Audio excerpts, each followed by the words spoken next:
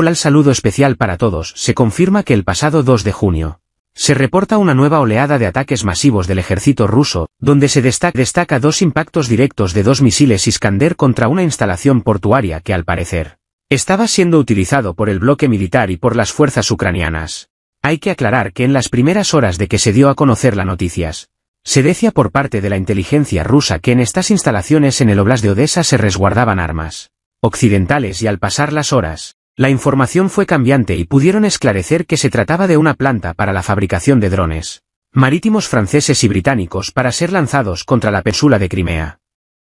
De acuerdo con el informe que está siendo entregado por el Ministerio de la Defensa de Rusia, se dice que los impactos de los Iskander coinciden con la visita de oficiales de la OTAN, y como resultado habría sido destruida la línea de ensamblaje y habría sido aniquilado personal experto y técnicos de la OTAN, así como los oficiales de la OTAN que eran encargados de cuidar estas instalaciones portuarias. Para los expertos de ser ciertas las informaciones que se están emitiendo por los canales especializados se hablaría de un duro revés para las armadas de Ucrania y de la OTAN y por supuesto un relajamiento temporal para las defensas rusas en Crimea. Para analistas dice que hay factores evidentes y decisivos para el desarrollo de la guerra, y tiene que ver que ahora los ataques de precisión que han impactado instalaciones críticas y centros de comandos, Búnker e instalaciones de la OTAN en Ucrania, infringiendo pérdidas significativas para la alianza. Pero vamos a seguir avanzando con más información amigos de noticias de última hora desde la potencia del norte. Estados Unidos teme que si Ucrania pierde el conflicto con Rusia, una serie de países llegue a acomodarse por su cuenta, declaró el presidente de la nación norteamericana, Joe Biden. La idea es que si dejamos que Ucrania se hunda, fíjense en lo que les digo, Polonia se irá, y todas las naciones situadas a lo largo de la frontera con Rusia, desde los Balcanes hasta Bielorrusia, se acomodarán por su cuenta, afirmó en una entrevista concedida a la revista Time. Scholz no cree que uso por Kiev de armas de Occidente contra Rusia desate una escalada. Scholz no cree que uso por Kiev de armas de Occidente contra Rusia desate una escalada.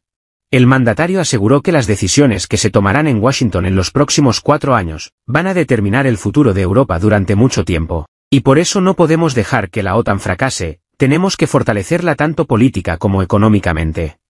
Y militarmente, en lo que estamos invirtiendo significativamente, indicó. Cabe mencionar que el rival potencial de Biden en las elecciones de noviembre, Donald Trump, de ganar las presidenciales, podría transformar las relaciones de Washington con la OTAN, especialmente con aquellos miembros del bloque militar que están en mora en sus aportaciones económicas. Como lo ha destacado en varias ocasiones, el expresidente se enfocaría en revaluar fundamentalmente el propósito de la Alianza Atlántica y su misión. El canciller de Alemania, Olaf Scholz, ha defendido en una entrevista la decisión de permitir que Ucrania utilice las armas que le suministran los países occidentales contra objetivos militares en territorio ruso. En este asunto, estamos seguros de que no contribuirá a una escalada porque, como también expresó el presidente estadounidense, Joe Biden, solo se trata de poder defender, por ejemplo, una ciudad grande como Kharkov, dijo este lunes el canciller a la emisora alemana Antenne Bayern. En su opinión, todos deben darse cuenta de que el uso de armas occidentales contra Rusia no solo tiene que ser posible, sino que es algo que siempre ha sido posible conforme al derecho internacional. Lo que se necesita aquí es prudencia, recalcó el canciller, que dijo que los ciudadanos alemanes pueden confiar en que su gobierno actuará de esa forma. A continuación, Scholz aseguró que no cederá a ninguna presión sobre esta cuestión y de que actuará con sensatez, independientemente de la fecha de su próxima aparición en un programa de entrevistas. Pero en las últimas horas en Alemania, hay susto por lo menos es lo que están percibiendo los ciudadanos, donde el gobierno alemán está analizando los escenarios en caso de guerra según informa el diario alemán Der Spiegel. Expertos recomiendan a los alemanes buscar refugios y también dicen que no pueden depender de refugios grandes. Para todos, según informe pericial los grandes búnkeres ya no son especial para la protección de los ciudadanos. Y en cambio piden a los ciudadanos que deban de tomar decisiones por ellos mismos. Son análisis que hacen de este gobierno y están tratando de poner inquietudes entre los ciudadanos germanos. Se trata de un estudio sobre el concepto de un estudio de refugio moderno que los ministros del interior de los Estados federados quieren debatir en el mes de junio. Todo porque si se llegara a presentar ataques por parte de una gran potencia hostil, todos sabemos que se dirige a Rusia los comentarios. Estos búnkeres ya no serían adecuados para proteger a los civiles y todos según los expertos al poder. Destructivo de las armas modernas que apuntan a lugares individuales relevantes para la guerra y que tiene mucho poder de destrucción? Por eso están pidiendo no tener el concepto de proteger a los ciudadanos en los búnkeres grandes de la Guerra Fría. porque ya no son apropiados para proteger a la población. Información que está consignada en el diario Spiegel de Alemania. En las últimas horas, también se conoce en tiempo real que sorprende. Los servicios especiales de seguridad de Rusia han aumentado considerablemente las medidas de seguridad que rodean al presidente Vladimir Putin en un nivel que para los analistas militares es algo sin precedentes. Es lo que apuntan fuentes cercanas al Kremlin. Moscú dice que han aumentado las medidas de seguridad con el mandatario debido al conflicto con Ucrania, y de los antecedentes con políticos de alto rango en Europa y Asia y que por supuesto la seguridad de Putin. La trabaja muy en serio los servicios de seguridad, es lo que decía un funcionario ruso a The Moscow Times en el Día de la Victoria el pasado 9 de mayo. Y esto tras la autorización de ataques de Occidente al territorio ruso desde Ucrania. El ministro de Asuntos Exteriores de Italia, Antonio Tajani, ha advertido este sábado de que cada vez es mayor el riesgo de que haya una tercera guerra mundial después de que Estados Unidos haya autorizado el uso de sus armas para que el ejército ucraniano ataque objetivos rusos en suelo ruso. Las opciones y declaraciones de, el canciller alemán, Olaf, Scholz no son las nuestras. Sed prudentes, porque el riesgo de una tercera guerra mundial aumenta si no lo sois. Un pequeño error podría tener consecuencias desastrosas, ha afirmado Tajani durante un acto de la patronal italiana, Cofindustria, recogido por el diario, La República.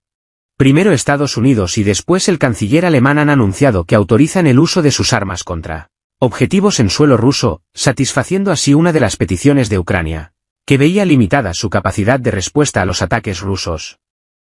El ejército ruso asalta las posiciones de las Fuerzas Armadas de Ucrania en los sectores del frente de Pokrovsky y Yuzhdonetsk. Los recursos analíticos del enemigo informan de importantes éxitos del ejército ruso en las direcciones de Pokrovsky y Yuzhnodonetsk. Las operaciones de combate activas continúan en varios sectores clave del frente, donde las Fuerzas Armadas rusas están demostrando avances seguros. En dirección Seversky, las tropas rusas avanzan en el área de Bernekamensky. Al sur de Razdolovka, las unidades rusas atacan a lo largo del cinturón forestal al este del ferrocarril, lo que les permite fortalecer sus posiciones y avanzar más profundamente en el territorio. En dirección Pokrovsky, las Fuerzas Armadas de Rusia establecieron un punto de apoyo en la parte oriental de Novoalexandrovka, avanzando hasta una profundidad de 850 metros. Continúan los intensos combates al este de Sokol, al norte de Umansky y en la zona de Netailovo, donde las tropas rusas están llevando a cabo activamente operaciones ofensivas. En el sector del frente de Yuzhnodonetsk, las fuerzas rusas están avanzando al norte de Paraskovievka, avanzando a lo largo de la franja forestal al norte y al oeste de Slatkoye. Al sureste de Rabotino, las tropas rusas se atrincheraron en un área de hasta 2,78 kilómetros de ancho y una profundidad de 900 metros, lo que indica un éxito significativo en el avance en esta dirección. Los analistas militares señalan que los éxitos del ejército ruso en estos sectores del frente pueden cambiar significativamente el equilibrio de poder en la región. La consolidación en nuevas posiciones y el avance activo crean condiciones favorables para futuras operaciones ofensivas y el fortalecimiento del control sobre territorios estratégicamente importantes. Rusia lanza contra territorio ucraniano 27 drones kamikaze Stag.